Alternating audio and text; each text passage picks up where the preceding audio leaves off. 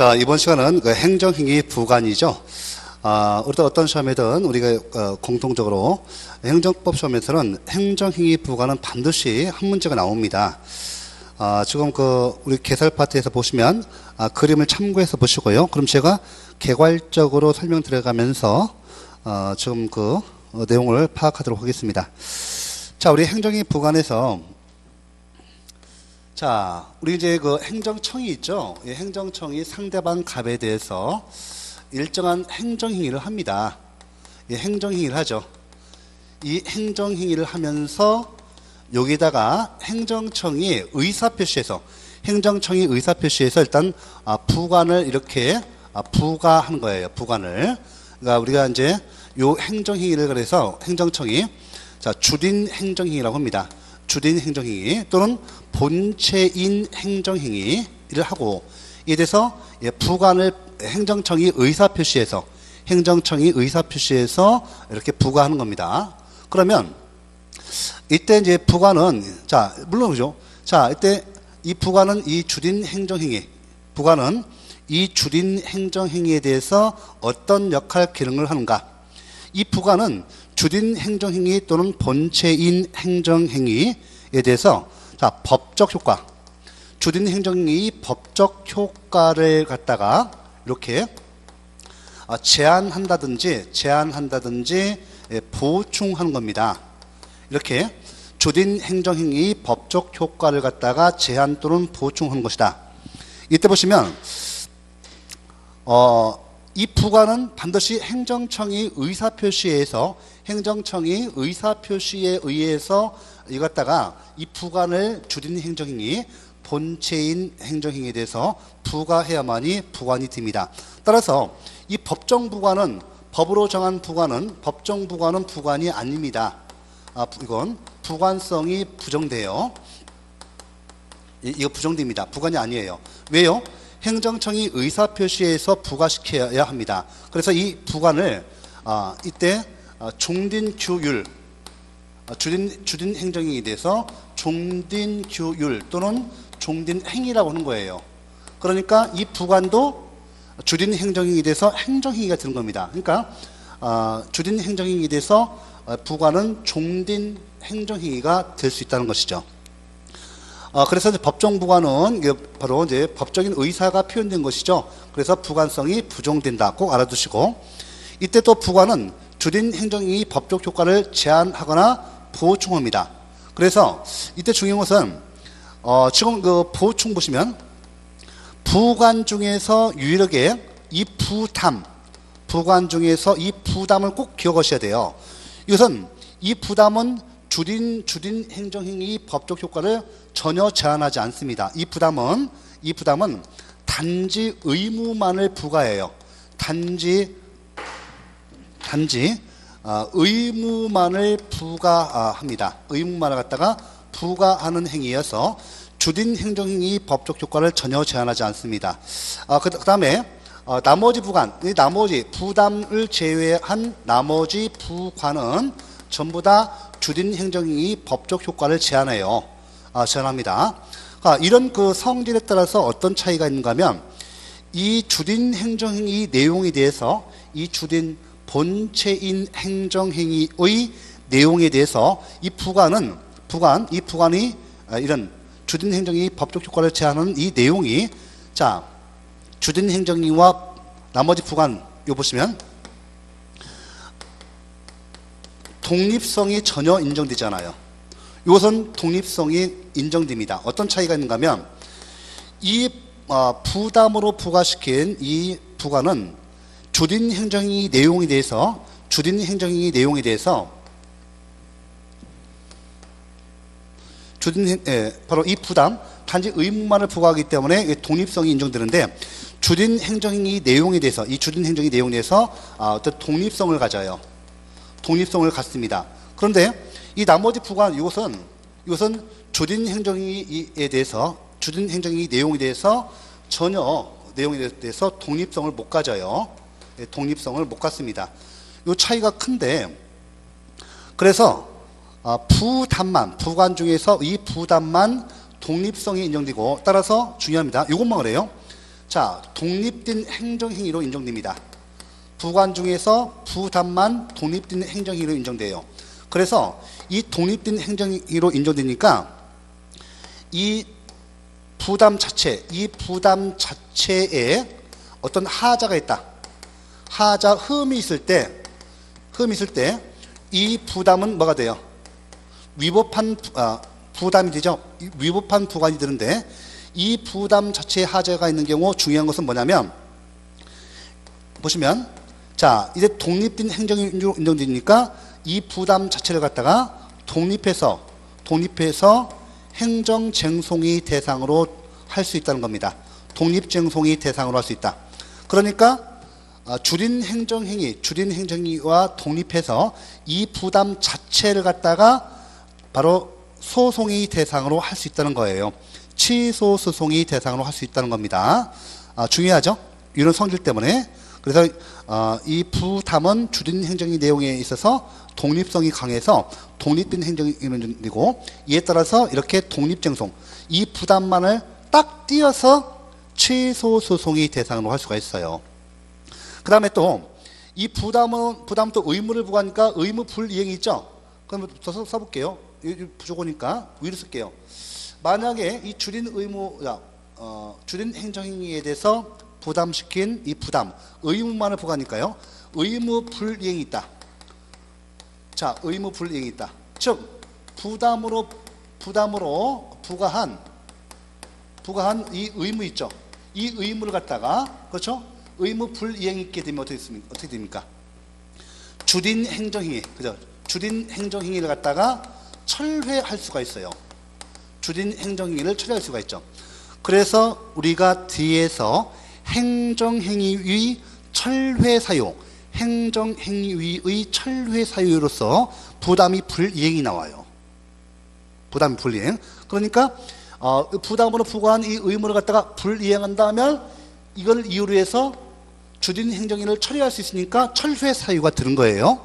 그 다음에 이 부담으로 부과한 의무 불이행을 이유로 해서 행정상 강제 집행도 가능해요.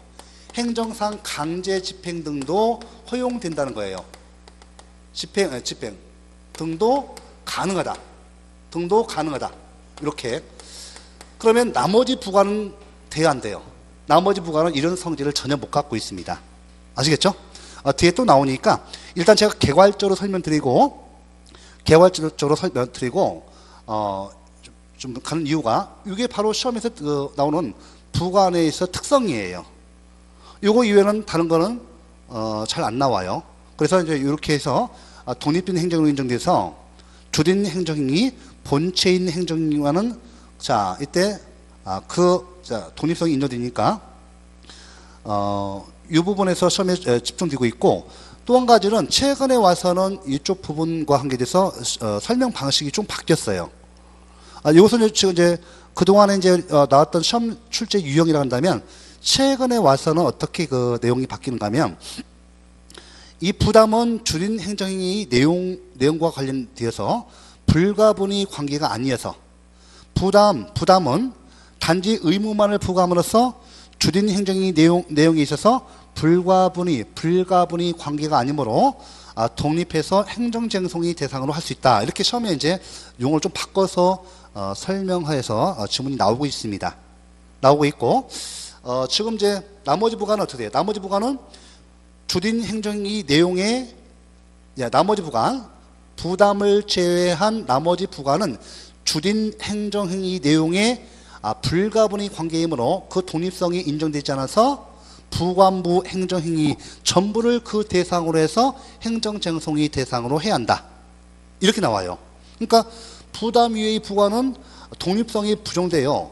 그러니까 주린 행정행위 내용의 종속성이 강해서 주린 행정행위 내용의 불가분의 관계에 이어서 그 독립성이 부정되고 즉 종속성이 강해서 부관부 행정행위 전부를 그 대상으로 해서 행정쟁송이 대상으로 해야 한다. 이렇게 나와. 이렇게 이게 맞는 질문이고요.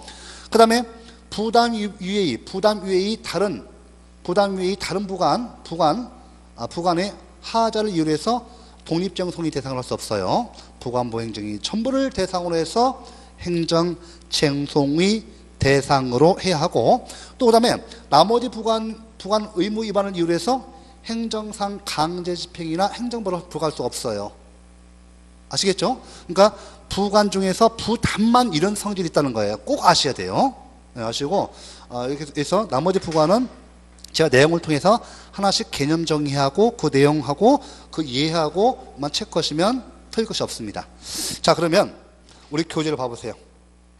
자 부관의 의의를 갖다가 제가 이미 다 설명드렸어요. 아, 해서 아, 특히 부관에 의해서 양가로 1번부터 6번까지 7번까지 알아두시고 아, 부관의 특징 야, 바로 반가로 2번 나오죠. 아, 해서 아, 여기 그 부관의 특징에서 양가로 1번과 2번 나오죠. 최근 시험에서는 이렇게 7급을 유치해서 9급도 이렇게 문제 나오고 있어요. 제 교재처럼. 자, 부관의 특징을 보도록 하죠. 양가로 1번. 부관이 주된 행정행위와 불가분이 일체를 이루- 이루기 때문에 주된 행정행위의 그 부종성을 그 부종성을 부가디어서 다른 성질 부종성을 그 특징으로 한다. 양가로 2번 다만 부관 중에서 부담 많은 주된 행정행위의 아, 부종성이 약하며 독자성, 독립성이 있어서 아, 독립해서 행정쟁송이나 강제 집행이 대상이 될 수 있다. 뭔만요? 아, 부담만. 그래서 어, 양 반가로 2번 부관의 특징 별표 3개 넣으시고 부관의 기능 순기능 역기능 받으시고 자 법정 부관 반가로 4번 나오죠 이것은 부관 네, 부관성이 부정됩니다 아, 부관은 행정청이 줄인 행정행위에 대해서 종된 행정행위 또는 종된 기율로서 어, 의사표시에서 부과시켜야 돼요 그죠? 예. 그러니까 지금 법정부관은 입법의사예요. 행정의사가 아닙니다. 입법의사니까 예, 바로 행정청이 의사표시에서 부과시킨 것이 아니죠. 그래서 법정부관은 부관성이 부정된다. 그 다음에 이어서 여러분들 그 뭐를 배우신, 보시는가 하면 부관의 종류 봐보세요. 부관의 종류에서 먼저 조건 나오죠. 조건 나오고 두 번째 뭐 나오죠? 기한. 세 번째 뭐 나와요? 부담. 그죠? 아, 그 다음에 여러분들 부담 다음에 아, 네 번째 철회권의 유보 아, 그 다음에 법률 효과의 일부 배제 부담 유보 수정 부담 이렇게 내용이 되어 있어요 어, 요 내용은 부담은 말씀드렸죠 앞에서 제가 말씀드렸듯이 이 부관은 어떤 시험이든 항상 한 문제씩 나옵니다 나오기 때문에 반드시 부관은 잘 정리해 놓으시고 틀리시면 안 돼요 우리가 이제 수업 전형에서 예, 행정법은 90점 90점이 기본 점수예요. 남들 다 맞습니다. 그래서 우리가 일정 기간 충실히 반복해서 공부하시면 어, 동영상 예, 참조해 주셔서 교재를 통해서 공부를 하시면 고득 좀 하십니다. 그러면 우리가 먼저 조건 반거를 1번 나오죠. 조건. 자, 여기서 행정행위 효과의 발생 또는 소멸을 자, 행정행위 효과의 행정행위 효과의 발생 또는 소멸을 장래에 발생할 것이 장래에 발생할 것이 불확실한 사실, 불확실한 사실에 의존하게 하는 부관을 말합니다. 아, 여기는 어, 두 가지가 있어요. 어, 정지 조건과 해제 조건이 있습니다. 어, 조건이라는 것은 장래에 이 장래에 발생할 것이 불확실한 사실에 행정행위 효과의 발생 또는 소멸을 의존하게 하는 부관이에요. 그러면 정지 조건 봐보세요. 정지 조건과 해제 조건이 있는데 정지 조건 같은 경우는 해요? 네. 조건이 성취되기 전까지 그 효력이 정지돼 있다 해서 자 우리 조건이 성취되기 전까지 행정행위 효과 또는 효력이 발생하지 않아요. 그 행정행위 효과의 발생 발생이 조건이 성취하기 전까지는 그 효력 발생이 정지되어 있는 거예요. 정지. 그러면 저 어, 우리가 조건이 성취되면 정지 조건이 조건이 성취되면 이때 비로소 행정행위 효과 또는 효력이 발생되는 조건 이것이 정지 조건이에요. 자, 그 다음에 해제 조건은 뭐예요? 행정행위 이 효과, 행정행위 효과 이 소멸을 행정행위 효과의 소멸이 조건이 성취되면 이 조, 예, 조건이 성취되면 행정행위 효과를 갖다가 소멸시키는 거예요. 그래서 해제 조건이에요.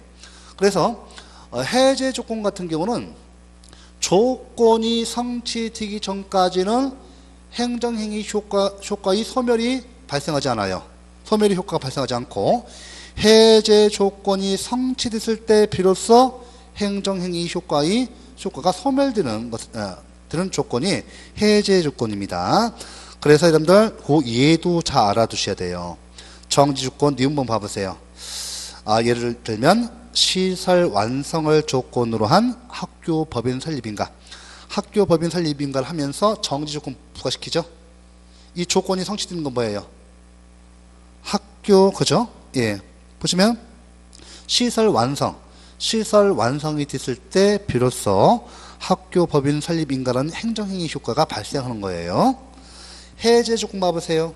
6월 이내에 공사에 착석설 조건으로 한 공유수면 매립면허. 공유수면 매립면허를 내주고요. 여기다 해제, 해제 조건으로서 아, 6월 이내에 공사에 착수할 것을 조건으로 붙입니다.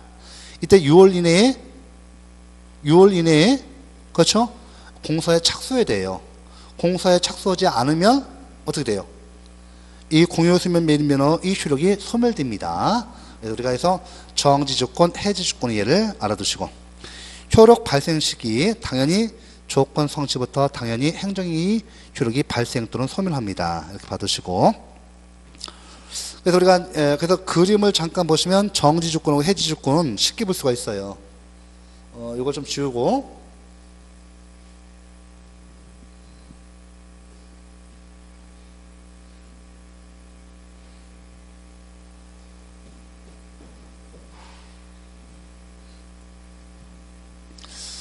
어, 이것이 예, 우리가 정지 조건 봐볼게요. 조건 해제 조건이 있죠. 그러면 어, 우리 학생들이 아, 이쪽 부분 그거 별로 그렇게 어려운 것은 아닌데 어, 사실 그 민법에 이런 그 기초가 안 돼 있어서 그런데요. 어, 우리 조건이죠. 조건이 종류 두 가지가 있죠. 예, 조건이 종류입니다. 이렇게 어, 두 가지가 있는데 이 정지 조건을 갖다가 이렇게 다른 말로 효력 발생 조건 이렇게 암기해 놓으시면 좋아요. 효력 발생, 에, 발생 조건, 해제 조건을 효력 아, 소멸 조건 이렇게 기억해 놓으시면 좋아요.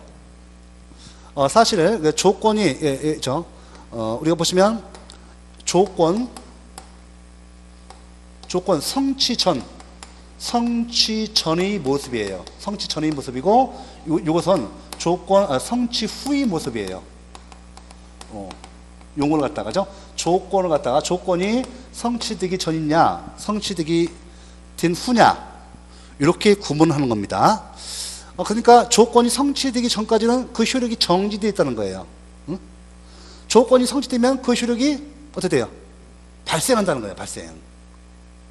그러니까 조건 성취 전의 모습은 이렇고 조건 성취 후의 모습은 이렇다는 거죠. 그래서 우리가 어, 혼동 처음에 할 때는 혼동이 좀 드는데 나중에 보면 이런 것들 쉽게 기본적인 사항으로서 누구나 다 합니다. 이런들 이런 거 나오면 다 맞추셔야 돼요. 자 그러면 해제 조건은 다른 말로 보세요. 조건 성취되기 전까지. 자 조건이 성취되기 전까지는 그 효력이 효력이 소멸되지 않아요. 응? 조건이 어, 성취되기 전까지는 효력이 소멸 안 되죠. 조건이 성취되면요. 이때 비로소 행정행위 효력이 소멸되는 거예요. 소멸. 요거는요. 자, 조건이 성취되기 전까지는 그 효력이 정지되어 있죠. 그래서 효력이 발생하지 않아요. 응? 조건이 성취되면 이때 비로소 효력이 이렇게 발생한다는 것이죠. 그러니까 정지 조건은 효력 발생 조건이라고 제가 써드린 이유가 여기에 있는 것이고 해제 조건은 우리가 효력 소멸 조건이라고 해요. 그러니까 조건이 성취되기 전까지는 효력이 소멸되지 않죠?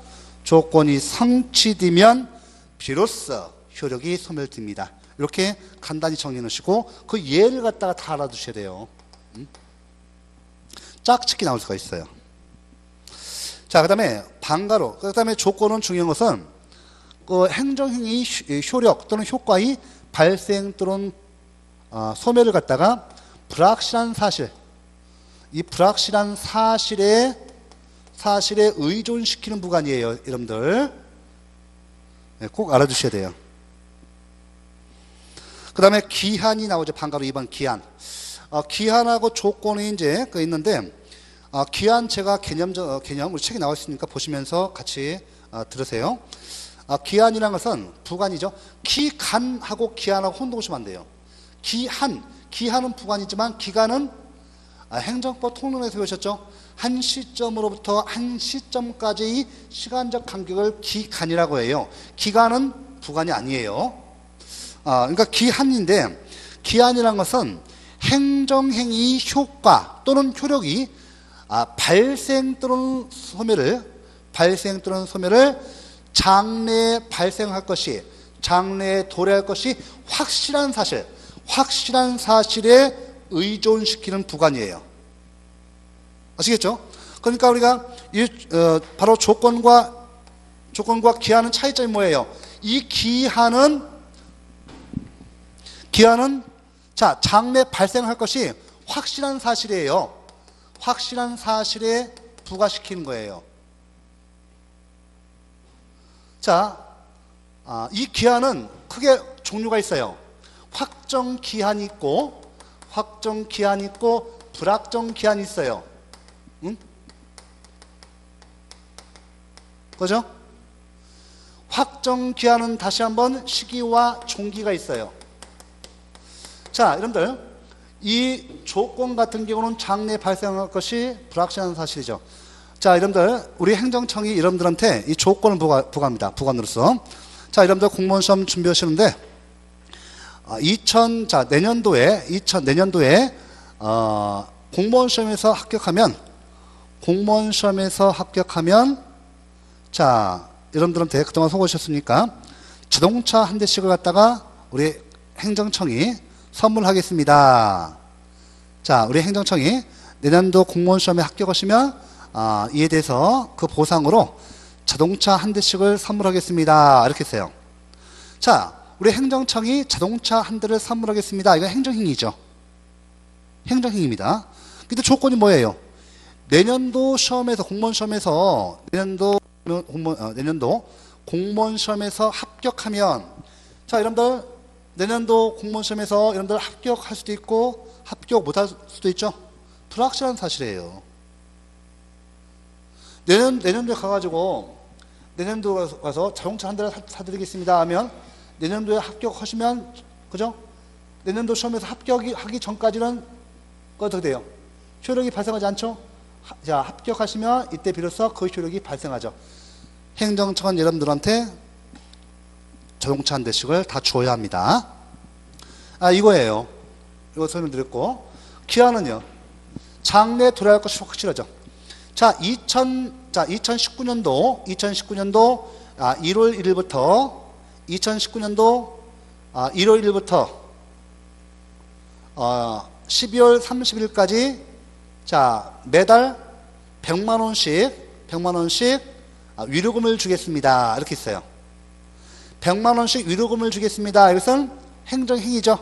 자, 행정청에 그렇게 했습니다. 그러면 이때 2019년 1월 1일 그 다음에 1월 1일부터 그러니까 시기죠. 12월 30일까지 12월 30일까지 이렇게 하면 종기죠. 자, 이와 같이 장래 도래할 것이 장래 발생할 것이 이렇게 확정된 거, 확실한 거, 확정된 거, 이걸 확정 기한이라고 해요. 확정 기한은 아까 말씀드렸죠. 2019년 1월 1일부터 12월 30일까지 매년 100만 원씩 돈을 드리겠습니다면 2019년 1월 1일부터 1월 1일, 12월 31일은 자 시기와 종기인데 반드시 도래하죠. 그리고 확정 기한이에요. 반드시 도래합니다. 이때 2019년 1월 1일부터 12월 31일까지 매달 100만 원씩 어, 우리 행정청은 여러분들한테 돈을 줘야 돼요. 근데 불확정 기한은 뭐냐면 여러분들 여러분들 공무원 되셔서 퇴직 하시면 연금 나오죠? 연금 나오잖아요. 그 연금 계약, 계약 조건이 뭐예요? 자, 여러분들이 자, 사망 시까지 사망 시까지 사망 시까지 아, 공무원 연금을 드리겠습니다. 자, 사망 시 이 사망시 이렇게 하면 요거는 자, 사람은 누구나 태어나면 반드시 사망합니다. 죽습니다. 이것은 반드시 죽, 죽잖아요. 장래 언젠가는 도래해요. 장, 장래 언젠가는 도래하고 발생하는 사실인데 이것이 언제인지는 모르잖아요. 확정이 안, 아, 그 기한이 확정이 안 됐을 뿐이에요. 반드시 도래하니까 이것은 조건이 아니라 기한이에요, 여러분들. 그러니까 당신이 사망할 때까지 어, 매달 그 뭐 연금 200만 원씩 드리겠습니다. 갖고 여러분들 공무원 되셔가지고 매년 어, 국가에도 돈 그 불입하고 여러분들 불입하죠? 그래서 돈 받는 거 아니에요. 근데 언제 사람 중, 어, 사망하는 시기는 10만이 알 수 있고 인간 알 수가 없죠. 확정이 안 돼, 시기가, 시기 종기가 확정이 안 됐단 말이에요. 그래서 기한이 있죠. 차이점이 있어요. 확실한 사실이냐, 불확실한 사실이냐. 그죠? 2019년 1월 1일 반드시 오죠? 아, 12월 30일 반드시 오죠? 이것은 확정되어 있잖아, 확정. 기, 기한이 확정되어 있잖아. 근데 사망시는 불확정 기한이에요. 사망은 반드시, 반드시 도래하니까, 아, 이것은 기한인이고. 여러분 시험에서 합격할 수도 있고, 안 할 수도 있는 것은 어디예요? 여러분 반드시 합격합니까? 아, 물론 여러분들은 합격하시겠지만은, 그렇죠? 그 확률상으로서 아, 안 되는 경우도 있어요. 그렇기 때문에 이렇게 그 불확실한 사실이냐, 아, 확실한 사실이냐 차이점이 조건과 기한이 차이점입니다. 어, 그래서 종료 시기, 종기 말씀드렸고, 어, 그 다음에 종기와 관련되어서 어, 또 시험 나오는데 시기, 종기가 있고 확정기한과 불확정기한이 있고 어, 시기와 종기는 확정기한이에요. 불확정기한 설명드렸고 어, 불확정기한과 관련되어서 양가로 3번에 종기의 법적 성질에 관한 논의가 있어요. 종기의 법적 성질에 관한 논의가 있죠. 자, 이것은 어, 어, 이거 좀, 어, 양가로 3번에서 아, 이 시험에서 자주 출제되었던 부분이니까 같이 보도록 하죠. 자, 우리가 자 종기가 도래하면 원칙적으로 자, 이 시기면 시기는 뭐예요? 행정행위 효력 발생, 효과 발생에 관한 기한이고 종기는 행정행위 효력이 소멸, 소멸에 관한 기한이에요. 효력 발생, 효력 소멸에 관한 기한입니다. 자, 그러면 종기 봐볼게요. 양가로 3번에 종기 법적 성질에 관한 논의 봐보세요. 자, 1번 문항. 종기가 도래하면 원칙적으로 행정행위 효력은 행정청의 별도의 의사표시 없이 당연히 소멸된다. 신류사유 배비 3개. 어, 우리 뒤에서 행정이 효력 소멸과 한계돼서 무효 취소 철회 시류를 배워요. 어, 중요한 것은 해제 조건이 성취. 에, 여기 해제 조건, 여기 해제 조건이 성취. 하고 이 종기 두례, 이 종기 두례는 실효 사유이다. 철회 사유가 아니라 실효 사유가 된다. 꼭 기억하셔야 합니다. 우리가 이제 그 신료 사유, 철회 사유 할 때 잘 나와요, 시험에서. 그러니까 해제 조건이 성취하고 종기 두례는 행정행위의 실효 사유가 됩니다. 꼭 알아두시고, 어, 우리 보시면, 자, 동그라미 2번 보세요. 하지만 일반 음식점 영업허가와 같이 내용상 장기 계속, 계속성이 예정되는 행정행위에 부당하게 짧은 종기가 붙여진 경우에는 행정행위 효력이 존속기간이 아니라 갱신기간. 그죠? 갱신기간. 아, 다른 말로 갱신기간을 조건이 존속기간 같은 말이에요. 로 봐야 한다는 것이 더설 판례의 입장입니다. 여러분들, 우리, 우리가 이제 일반 음식점 영업허가를 왜 받아요? 어, 우리 국민들은 직업으로서 평생 을 하잖아요. 죽을 때까지. 아, 자기 힘 없을 때까지. 힘없어서 못올 때까지 자기 직업은 하루, 하루 끝나는 게 아니죠. 음식 영업 허가를 받으면 보통 그 자기가 직업이니까 아, 사실 어, 자기가 힘 있을 때까지 계속 하죠.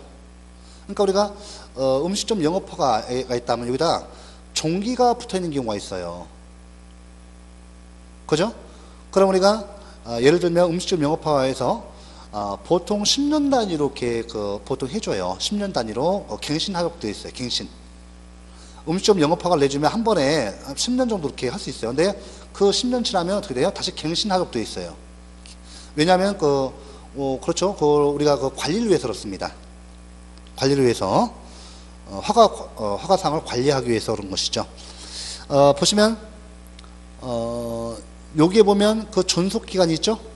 어, 보통 10년인데 어, 보통 우리가 내용상 계속성 내용상 그, 장기적이고 계속적인 그 내용으로 하는 이런 행정이요 허가 같은 경우 음식점 영업하고 같이 이런 경우 지나치게 짧은 기간 존속 기간이 붙어 있는 경우 지나치게 짧, 짧은 종기로 붙여, 붙여준 준 경우 이것은 아, 존속 기간을 보는 것이 아니라 아, 갱신 기간으로 본다.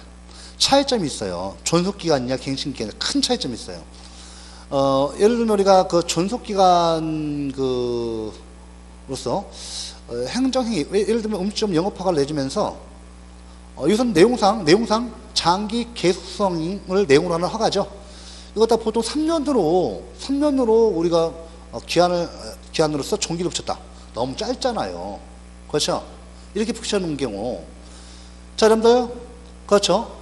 3년 음식점 영업 허가를 내면서 그 기한 종기로서 3년 허가를 내주면 여러분들 삼- 만약에 이것을 어, 시- 어, 존속 기간을 보면 문제가 있어요.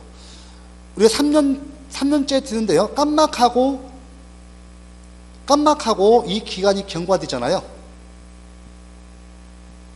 존속 기간을 보잖아요. 지나면 허가의 효력이 상실되고 바로 어떻게 돼요?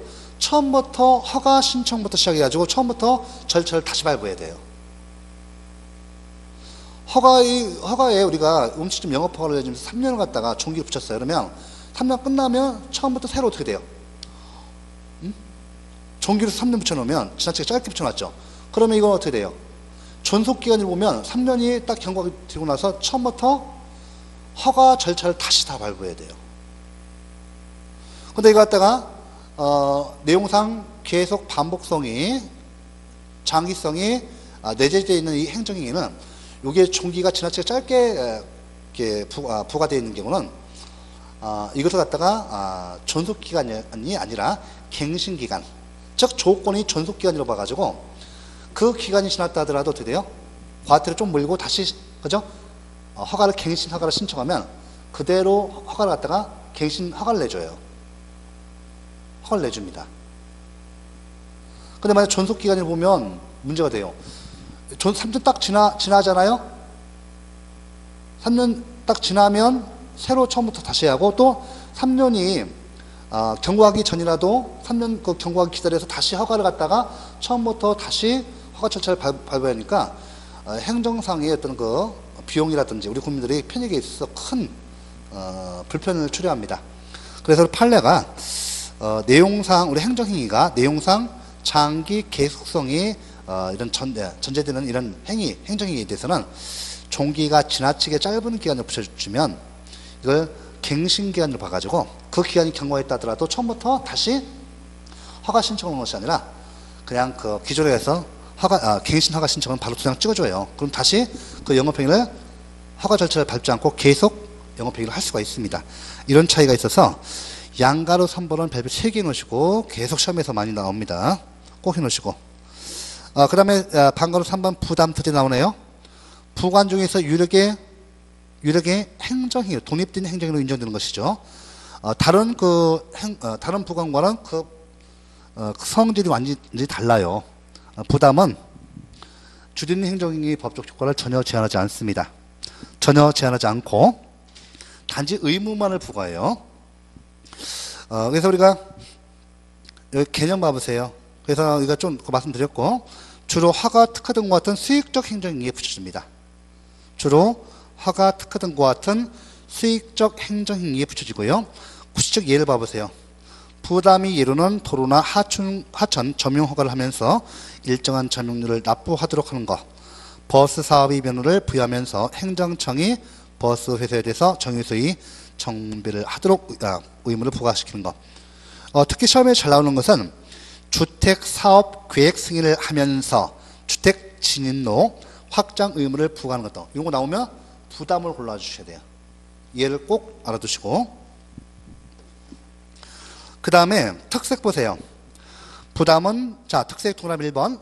부담은 아, 다른 부관과 달리 그 존속의 본체인 행정행위 존재를 전제로 하는 것일 뿐 행정행위 불가분적 요소는 아니어서 주된 행정행위와 독립하여 별도로 소송 제기가 가능하며 부담에 대해서 독자적인 강제 집행도 가능하다. 지금 계속 말씀드렸죠. 최근에 제가 주제대로 이렇게 시험 나와요. 지문이 꼭 알아두시고. 동그라미 2번 다만 부담도 부관인 이상 주된 행정행위에 대해서 어느 정도 부종성을 가질 수밖에 없으므로 주된 행정행위가 아무런 효- 효력을 발생하지 않는 경우 부담도 효력이 발생하지 않습니다. 아, 부담의 불이행 보세요. 행정행위 상대방이 부담에 의해서 부과된 의무를 불이행한 경우 행정청은 어떤 조치를 할 수 있는가? 반복되죠? 자, 철회, 주된 행정인을 처리할 수 있습니다. 또 아, 강제 집행할 수도 있고요. 단계적 조치 불이행도 가능합니다. 양가로 4번 조건과의 구별 문제의 소재 예, 어죠? 아, 조건과의 구별 양가로 4번 별표 3개 참 잘 나와요. 문제의 소재 나오죠? 아, 꼭 오른쪽에 동그라미 2번 구별 치록 봐보세요. 어, 효력 발생에서 정지 조건부 행정위의 구별해서 정지 조건부 행정위는 조건이 성취되기까지는 효력이 발생하지 않죠. 효력이 정지돼 있어요. 그런데 어, 우리 부담으로 부과시켜요. 부담. 부담 같은 경우는 어때요? 주된 행정위 법적 효과를 처음부터 아무런 지- 제한이 없어요. 그러니까 행, 주된 행정행위에 부담을 부과시키면 단지 의무만 부과시키니까 주된 행정행위 효- 효력이 완전히 효력이 발생합니다. 차이점이. 그러니까 부담은 주된 행정이 법적 효과를 전혀 제한하지 아니하므로 어, 어때요? 어, 행정행위, 주된 행정행위에 부담을 부과시킨다 하더라도 주된 행정행위 효력은 처음부터 효력이 완전히 발생합니다. 이것이 정지 조건과 달라요. 그 다음에 니은번 효력 설명해 보세요. 해제 조건부 행정행위의 구별. 자, 우리 해제 조건, 조건에서 주된 행정행위에 해제 조건이 성취, 예, 해제 조건을 부과하죠. 자, 이때 해제 조건, 조건이 성취되면 주된 행정행위는 자동으로 거의 효력이 소멸되잖아요. 맞죠? 그렇지 않습니까? 예. 그렇죠? 근데요, 어, 우리 그 주된 행정행위에 대해서 부담을 부과시키잖아요. 그럼 부담 불이행이 있다. 해제 조건이 성취되면 주된 행정행위 효력은 자동으로 그 효력이 상실되니까 실료, 실료. 그런데 주된 행정 행위에 대해서 부담으로서 부과시키는 의무, 불이행이 있으면 어떻게 돼요? 아, 주된 의무, 어, 부담으로 부과한 주된, 아, 부담으로 부과한 의무 불, 에, 의무를 갖다가 불이행했다고 하더라도 주된 행정행위 효력이 자동으로 상실되지 않고 이때 어떻게 돼요?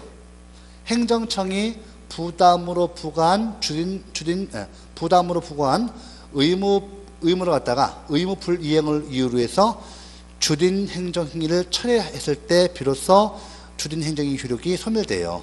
차이점 있죠. 요것도 잘 나와요. 어, 그래서 우리가 구별시력에서 기억 니은번 해놓으시고 또 강제 집행의 대상 그렇죠? 부담이 불이행에 대해서만 강제 집행 가능하고 어, 이때 나머지 부과는 안 돼요. 쟁송 대상도 부담만 돼요. 강제 집행도 어, 주된 행정행위 철회도 어, 그 다음에 강제 집행 대상도 행정 쟁송 대상도 부담만 인정돼요. 나머지 부관은 음, 따로 독립해서 어, 부관을 행정 쟁송의 대상으로 하거나 행정상 강제 집행의 대상으로 할 수가 없어요. 꼭 아셔야 돼요. 시험에서 잘 나옵니다. 아, 이렇게 해서 어, 별표 3개 넣으시고 구별 시력도 그 다음에 구별 기준 일반론 자 이것도 중요합니다.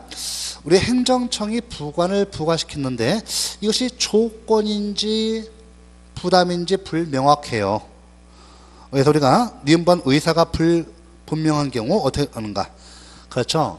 우리 상대방, 우리 일반 국민에게 유련, 부담으로 해석해야 합니다.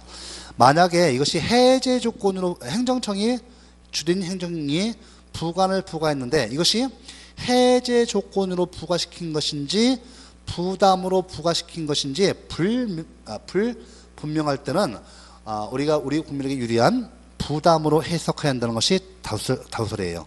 통설입니다. 꼭 알아두시고 판례의 태도도 마찬가지예요. 예. 우리 판례의 태도 볼게요. 판례는 부관의 필요성, 행정청이 객관화된 의사, 행정관행 등을 종합적으로 고려해서 판, 판, 어, 판별, 구별해야 한다는 거 봅니다. 아, 요것도 해놓으셔야 돼요. 아, 시험에 다 출제된 겁니다. 그 다음에 방가루 4번에 철야권 여부 보세요. 철야권 여부. 아, 철야권 여부. 어, 보시면 해제 조건과의 구별이 있어요. 자, 해제 조건. 자, 철야권. 자, 아, 철야권 여부. 어, 요 철야권 여부는 뒤에서 배우시는. 그 앞에서 어, 해제 조건. 해제 조건과 종기 있죠. 어, 조건에서 해제 조건, 그 다음에 기한에서 종기 있죠? 이것은 행정행위 실효사유예요. 실효사유입니다. 이에 대해서 반가로 4번의 철회권 여부는 뒤에서 철회사유요. 철회사유. 행정행위 효력을 갖다 소멸시키는 철회사유입니다. 꼭 구분하셔야 돼요. 자, 차례권 여부 볼게요. 의.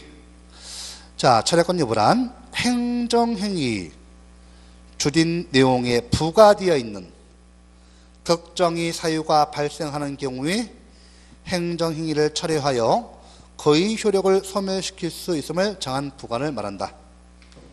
양가로 2번 해제 조건과의 구별 보세요. 해제 조건 다른 점. 조건 사실이 발생하면 당연히 행정행위 실력이 소멸되죠.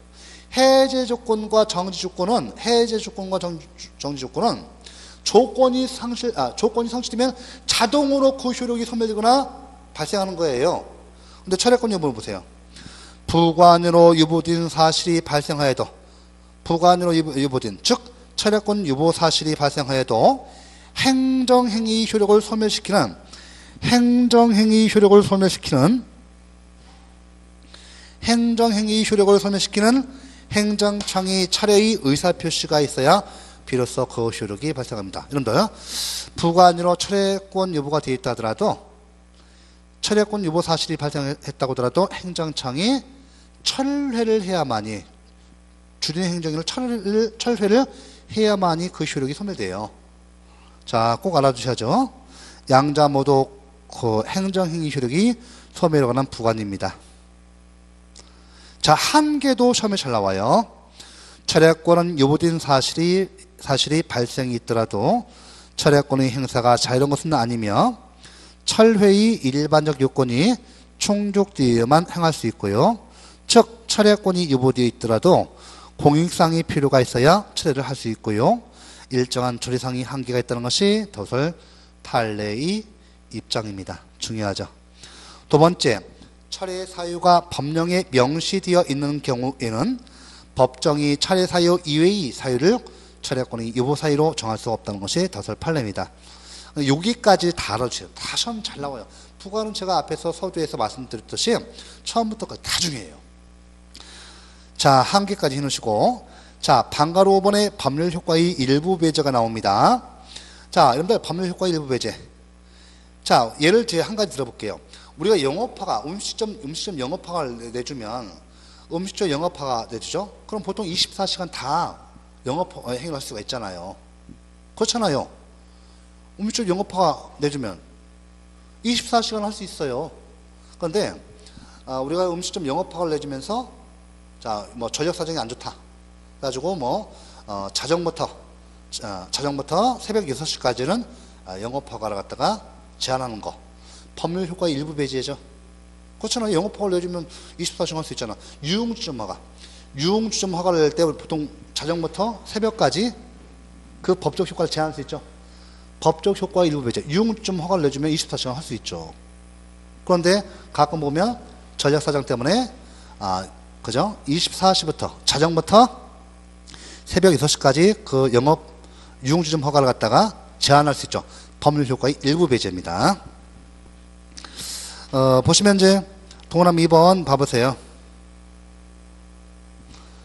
어, 법률 효과의 일부 배제는 부관으로 볼 수 없다는 개념도 있으나 우리 답설과 판례는 부관의 일종으로 보고 있습니다. 자, 법률 효과의 일부 배제를 갖다가 부관으로 인정할 수 있는가? 그 부관성 인정 여부에 대해서 우리 답설과 판례는 부관성을 인정한다는 거예요. 부관으로 보고 있습니다. 꼭 알아두시고요. 자, 그 다음에 구체적 예가 동그라미 1번부터 3번 있죠? 요거 나오면 법률 효과의 일부 배제를 찾으셔야 합니다. 답이 법률 효과의 일부 배제입니다. 격일제 운행을 조건으로 하는 택시 영업화가 야간만의 도로 조명화가 버스 노선의 지정 등이 있습니다. 아, 그 다음에 여러분들 꼭 중요한 것이 양가로 3번 법률 효과의 일부 배제는 우리 국민의 권익과 관련돼서 중, 중대하기 때문에 법률 효과의 일부 배제는 반드시 법적 근거가 있어야 돼요. 요 시험 두세 번 나왔어요. 그러니까 법률 효과, 어, 법률 효과의 일부 배제에 관한 부관을 부과할 수 있기 위해서는 아, 이때 근거 법률에서 근거 법률이 있어야 돼요. 반드시 법률 효과의 일부 배제를 부관으로 부과할 수 있는 법적 근거가 반드시 있어야 한다. 중요합니다. 효과 봐두시고 방가로 2번 부담 여부가 있어요. 부담 여부 이것을 다른 말로 행정행위 아, 사후 변경의 유보 부담의 추가 변경 또는 보충권의 유보라고도 합니다.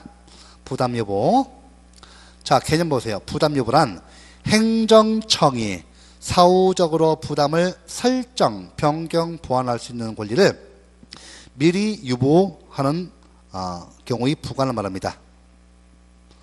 독일 입법 내 있고요. 그러니까 부담 유보. 아, 행정행위를 할 당시에 행정행위를 하면서 행정청이 행정행위를 하면서 어 우리가 나중에 어, 부관을 이거 설정할 수 있어요. 부관 변경할 수 있어요. 부관을 보충할 수 있어요. 라고 미리 행정행위를 할 때 부과시키는 거예요.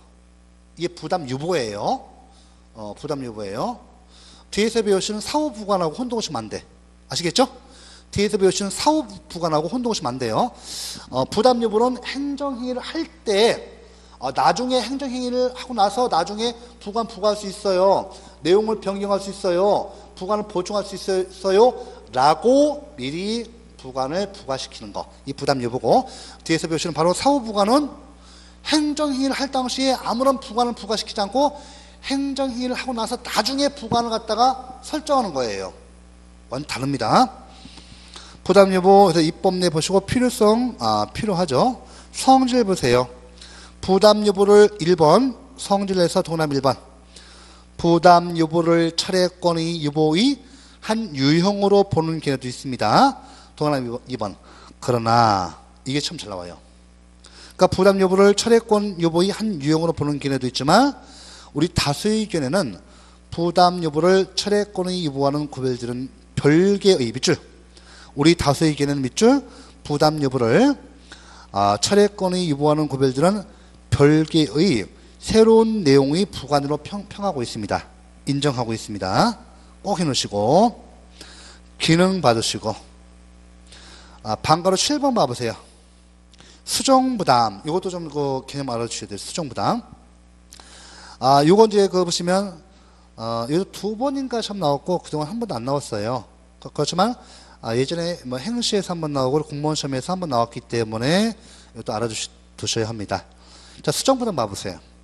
의에서 행정 행위 상대방이 신청한 것과는 다르게 행정 행위 내용을 정하는 부관을 말하는 바 예를 보세요. A국에 대한 쇠고기 수입 허가 신청에 대해서 행정청이 비국으로부터의 쇠고기 수입 허가를 부여하는 경우 집단 시위 행진의 허가 신청에 대해서 신청된 것과 다른 진로를 지정하는 것 등 이는 이는 상대방이 수정된 내용을 받아들임으로써 완전히 효력을 발생합니다. 자, 일반 부담과의 구별 보세요. 일반 부담과의 구별. 일반이 일반이 부담. 이 독일어인데요. 야 아버 아버의 성질을 야 아버죠.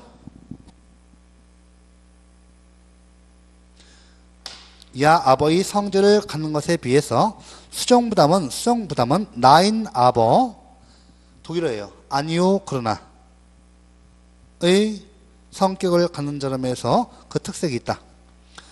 아, 수정 수정 부담의 부관성 양가로 3번 나오죠.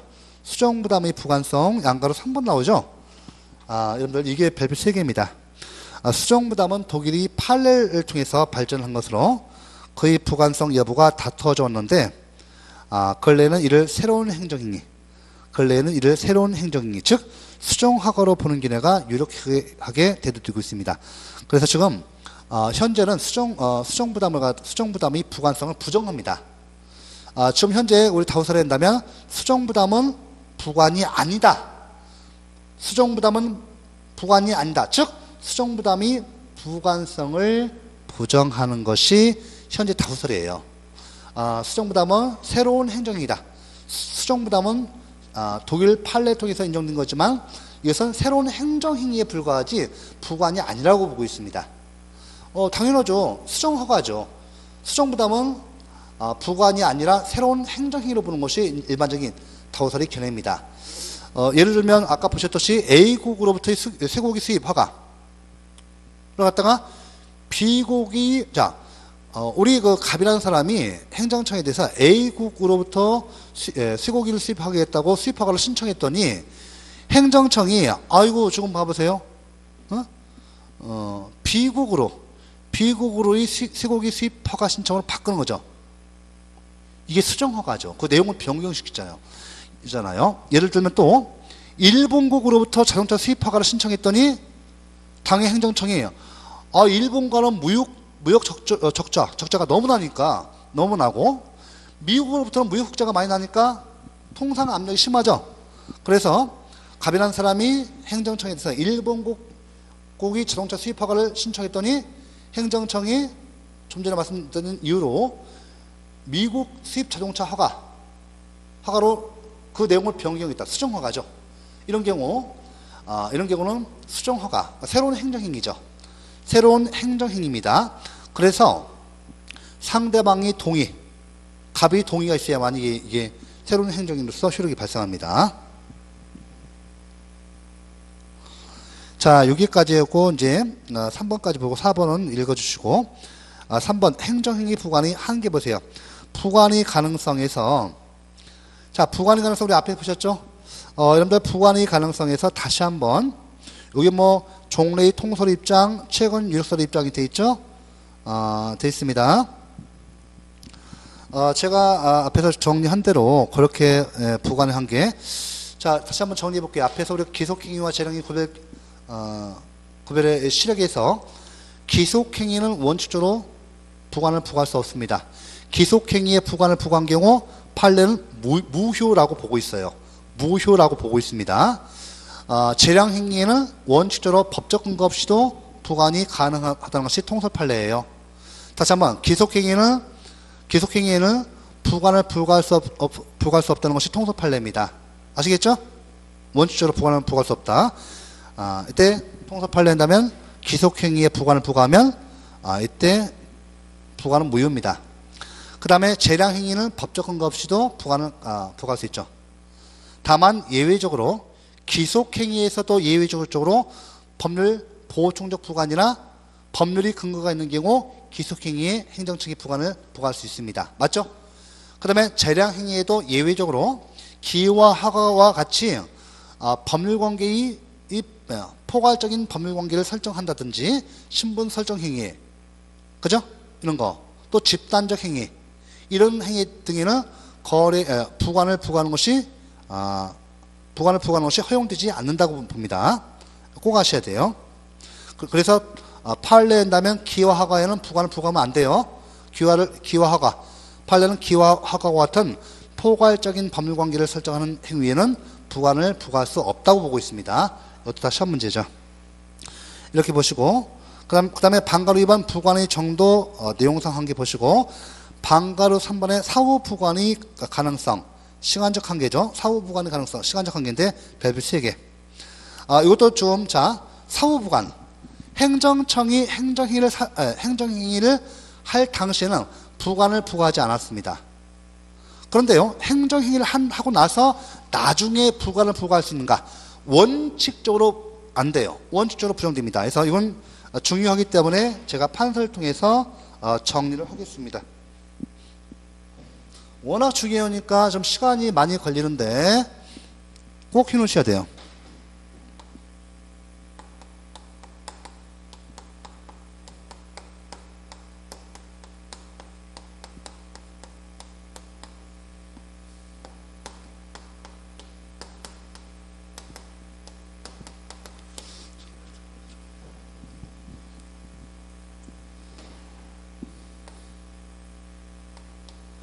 원칙적으로 안 돼요.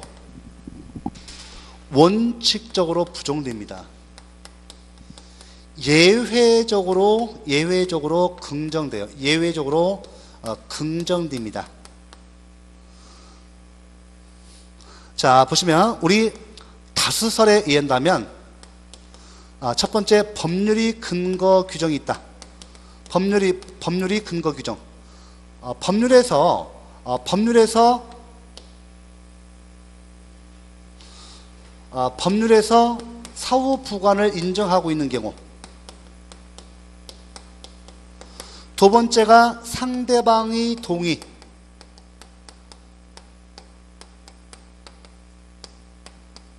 세 번째가 아까 보셨죠? 뭐예요? 부담 유보. 그렇죠? 아, 부담으로 유보하는 경우. 어, 어, 나중에 그 행정행위로 나서 행정행위를 하고 나서 나중에 부관 그 설정할 수 있습니다. 이렇게 하는 거. 이렇게. 우리 다우설은 이세 가지를 들고 있어요. 그런데 우리 판례는 판례는 이 다수설이 다수, 다수설이 세 가지 이외에 이 세 가지 이외에 한 가지 더 들고 있어요. 우리 판례가 바로 바로 사정 변경. 판례가 사정 변경을 들고 있습니다.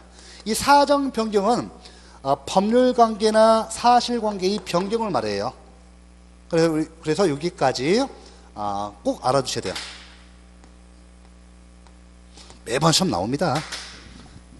자, 이렇게 행정법은 시험 점수가 잘 나와 있어 어, 우리 판례 참고해서 어, 좀 봐두시기 바랍니다. 다우설 판례 꼭 해놓으셔야 돼요. 어, 그 다음에 그 보충학습에서 어, 여기서 이제 한 가지 제가 안 한 거 있는데 어, 이제 그, 뭐, 보충학습에 보시면 진정 일부 취소성이 있거든요.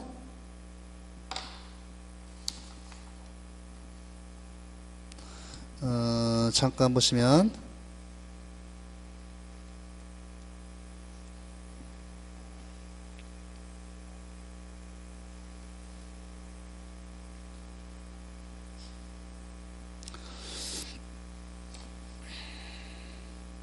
요거 한 가지만 해볼게요. 이제 우리가 어, 잠깐 요거 한 가지만 정리하고 이제 어, 수업을 끝내겠습니다. 우리가 이제 여기 그 행정행위가 있잖아요. 그 부관이 있단 말이에요. 그럼 우리가 크게 여기 이제 아, 부담이 있고 이 부담 이외 나머지 부관 이렇게 하겠습니다. 나머지 부관 있죠. 부담이 나머지 부관. 요것이 있는데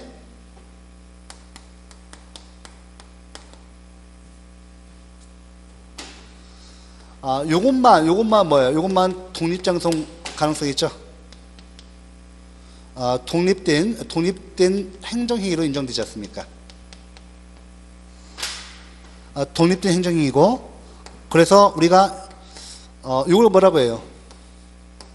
부, 관, 부, 행정행위라고 하죠. 부관이 부과된 행정행위를 하잖아요. 행정행위.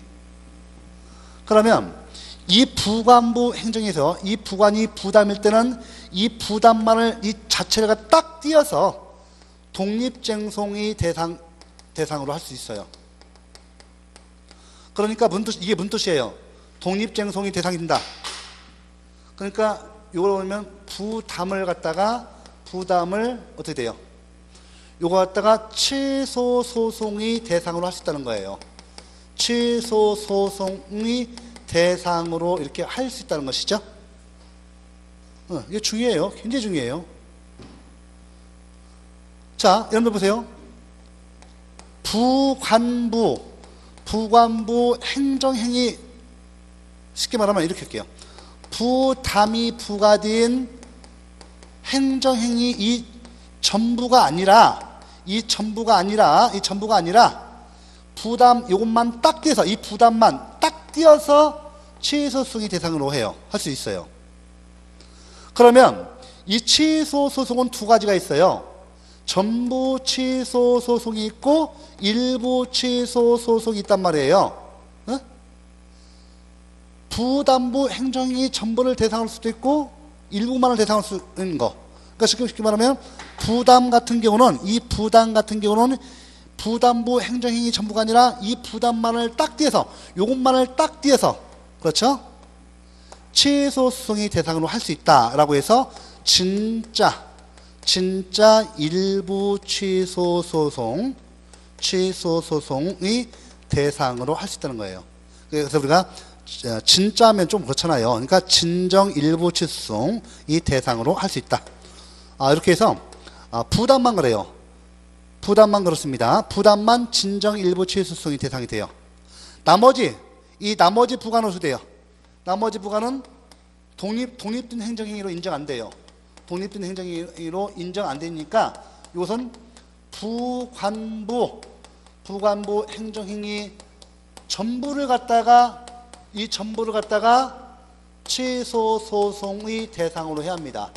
취소 소송 대상으로 해야 합니다. 아시겠죠? 이렇게 요것만 해놓고 어, 나머지 뭐 부진정 일부 취소송 요거는 뭐 어, 한번 읽어보십시오. 중요한 것은 부담만 진정 일부 취소송이 대상되고 우리 판례는 아, 부진정 일부 취소송을 인정하지 않습니다. 그래서 우리가 요거 참조해서 요것만 하시면 돼요. 나머지 내용 읽어보시고요. 자 오늘은 여기까지만 하겠습니다. 예, 수고하셨습니다.